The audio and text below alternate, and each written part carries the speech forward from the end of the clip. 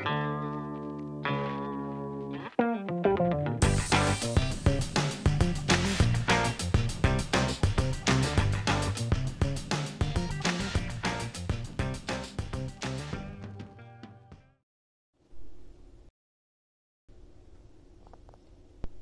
everyone welcome to Goldy tasteful kitchen आज हम summer special ice candy ice bars या ice lollies, कुछ भी कह लीजिए, और वो भी फ्रूट से बनने वाली आपके सामने रेसिपी लेकर आए हैं, जो बहुत बच्चों को पसंद आने वाली है। ये देखिए, मैंने वाटरमेलन ले लिया है, इसको ये सीड निकाल दिए हैं। इधर मैंने ग्रेप्स ले लिए हैं, कुछ अच्छे से वॉश कर लिया है उनको। ऐसे ही मैंगो को अच्छे से पील करके उसके पीसेस कर लिए हैं। ऑरेंज को भी मैंने सीड्स निकाल लिया है और इसको सेपरेट कर लिया है। साथ में थोड़ी सी शुगर ली है। ये ऑप्शनल है। आप चाहें तो सेम रख सकते हैं, क्योंकि ओरिजिनल इसमें फ्लेवर रहेगा ओरिजिनल इसमें स्वीटनेस है। और अगर नहीं चाहते शुगर ऐड करना तो आप इसको हनी से भी बना सकते हैं। तो आइए स्टार्ट करते हैं। सबसे पहले मैं इसमें ग्रेप्स डालूँगी। और ग्रेप्स के साथ ही मैं इसमें वन टीस्पून शुगर डालूँगी। और इसको अच्छे से मिक्स करेंगे। ब्लेंड करेंगे। अच्छे से हमने इसको ब्लेंड कर लिया है। ये आपको मैं खोलकर दिखाती हूँ। ये देखिए, इस टाइप से इसका स्मूथ पेस्ट बन गया है। आप चाहें तो इसमें थोड़ा सा पानी डालकर फिर से चला सकते हैं। थोड़ा सा मैं इसमें पानी डालूँगी, बहुत थोड़ा सा और इसको मैं फिर फिर से ब्लेंड करूँगी। और ये देखिए, हम इसमें ग्रीन कलर में इसको पोर कर देंगे। ये मार्केट में इजीली अवेलेबल हैं। और ऐसे आप इसको कवर कर देंगे। ये देखिए। सेम प्रोसीजर से हम ये वाटरमेलन लेंगे और इसमें भी हम वन टीस्पून शुगर ऐड करेंगे और इसको कवर करेंगे और इसको ब्लेंड करेंगे। अब हम इसमें वाटरमेलन वाला जो जूस है वो डाल देंगे।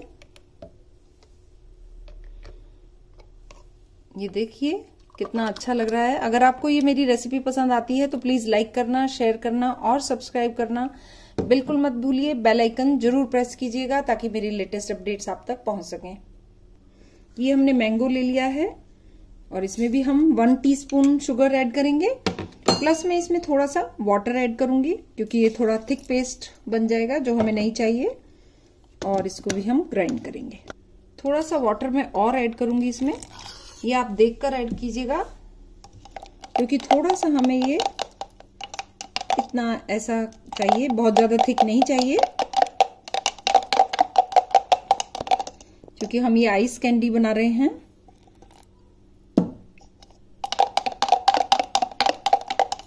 हर बार हम ये जो मिक्सी का जार है, इसको अच्छे से वॉश करेंगे, और तब हम इसको आइस कैंडी के लिए इसके पल्प को जो है वो ग्राइंड करेंगे ताकि दूसरा कलर इसमें मिक्स ना हो। ये मैंने करीब वन वन कप जो इसका पल्प है, वो तैयार किया है, जिसमें हमारी ये टू बिग साइज़ की कैंडी बार्स बनकर तैयार हैं। जो ऑरेंज है, उसको हम स्ट्रेन कर लेंगे, क्योंकि उसमें ऊपर वाइट रेशे होते हैं। हालाँकि हमने बीज निकाल लिया है, पर फिर भी अगर कुछ रह जाए तो हम इसको स्ट्रेन कर लेंगे अच्छे से। सेम प्रोसीजर लिया है, वही वन टीस्पून शुगर ऐड की है। ऑप्शनल है। बाकी आप देख सकते हैं कि फ्रेश फ्रूट बच्चों को कैसे खिलाया जाए। हमने कोई कलर कोई केमिकल ऐड नहीं किया है तो आई थिंक आपको ये बहुत पसंद आएगा। और अब हम इसमें ऑरेंज वाला डाल देंगे। दोनों में हमने ऑरेंज डाल दिया है। ये हमारे पास ऑरेंज थोड़ा कम रह गया है तो हम इसमें ऊपर वाटरमेलन ऐड कर देंगे। ये एक नए तरीके की आइसक्रीम हो जाएगी। और इसको फ्रीज करने के लिए रख देंगे। सिक्स टू सेवन आवर्स बहुत रहते हैं, लेकिन मैंने आज रात में बनाई है तो मैं ओवरनाइट फ्रीज करने वाली हूँ और मॉर्निंग में आपको दिखाऊँगी कि आइसक्रीम कैसी बनी। तो आप देख सकते हैं, हमने फ्रीजर से ये निकाल ली है और हमारी ये जम जानी चाहिए पूरी। अब हम एक बाउल में पानी लेंगे और इसको हम एट टू टेन सेकेंड के लिए इसमें डिप करेंगे ताकि ये थोड़ा स्मूथ होके निकल आए। ये देखिए, कितनी अच्छी बनी है आइसक्रीम वाओ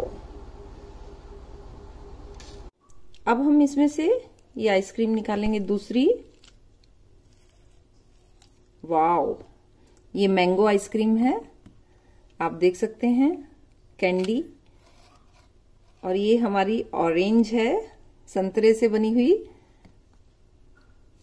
और इस तरह से आप देख सकते हैं, हमारी ये सारी आइस बार्स आइस कैंडीज निकल कर तैयार हैं ग्रेप्स वाली हमारी ये है, आप कुछ मैंने डबल बनाई है, आप भी ऐसे ही ट्राई कीजिए और ज़रूर बताइएगा कि आपकी ये आइस कैंडीज कैसी बनी। बच्चे बड़े सब बहुत लाइक करेंगे और जब अपने आप कोई चीज़ बनाई जाती है तो उसकी खुशी बिल्कुल अलग होती है। Thank you very much for watching my recipes